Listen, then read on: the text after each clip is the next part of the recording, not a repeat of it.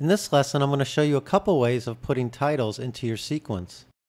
One way you can do it is to go to the shortcut menu located at the bottom right of the viewer with the A on it and click it. Go through the drop down menu and choose text and then go into the sub menu and choose text again. The text generator will be loaded into the viewer with sample text showing in the video tab. I'm going to go ahead and click the controls tab in the viewer and change the sample text to something generic like food show. Now when I go back and click the video tab in the viewer, I can see the text food show showing in the window. Now I want my text to be about six seconds long, so I'm going to go to the top left of the window where the duration indicator is and type in 600 and hit enter. That will make my text six seconds long. Now since I want my text to go at the beginning of the sequence, I'm going to move my playhead to the very beginning I know I'm at the very first frame of the sequence because of the first frame indicator at the bottom left of the canvas. And I'm going to change my V1 target for the text to the V1 track so that it goes on the first track and not the second. Now I'm going to hit the yellow insert button to insert the 6 second text into my sequence. Now I see the text has been inserted into the sequence, but I don't see it in my canvas window because the playhead is one frame out preparing you for the next edit. I'm going to go ahead and move my playhead back into the text so I can see it in the canvas window. Now in order to edit the text, you have to double click it in the timeline to load it back into the viewer. So after double clicking the text in the timeline, I go to the controls tab in the viewer. And here I can see all the controls and things I can do with the text that I have in the timeline. When I move the size slider, I can see the text growing and shrinking in the canvas window because my playhead is in it in the timeline. Now that I'm working with titles, I want to turn on my title safe. I'm going to go to the canvas and click on the drop down menu and check on show title safe. Now two square lines will appear in the canvas. The inside square line is your title safe and you should keep all your titles within this inside box if your piece is going to be viewed on a regular TV set. If your video is going to go to the web or you're going to play it on a flat screen, you shouldn't have any problem and don't have to use the title safe. So if I want to reposition my text in the canvas, I can go to the canvas on the top menu to the right and click on image and wireframe.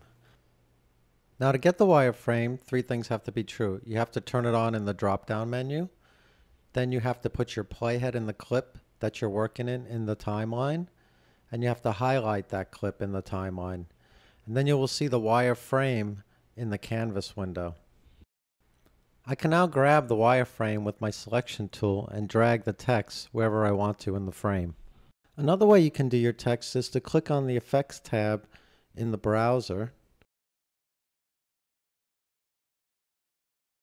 and then go to Video Generators folder and open that up and go to the Text folder and open that up and you can now double click the text icon and when you do this you can see that the sample text loads into the viewer window. So now I click the controls tab in the viewer so I can see the controls for the text. And I'm going to mark my timeline where I want the text to go. So I move my playhead in the timeline to exactly where I want the text to start. And I mark an in mark in the canvas. Then I move my playhead to where I want the text to stop and I mark an out point in my canvas. The duration of this is 3 seconds 26 frames. I'm now going to write in the text field another generic title putting on gloves. Now I need another track to go on to because I don't want to lay my text onto V1 or 2 because I have media there. So I'm going to go to sequence at the top menu and choose insert tracks. I'm going to put a 1 next to video tracks and hit OK. As you can see a V3 track pops up above your V2 track.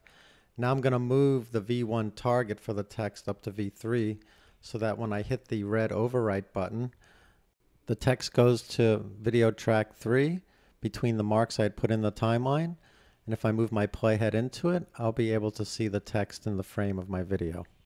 Now once you edit the text from the viewer to the timeline, it disconnects from the viewer.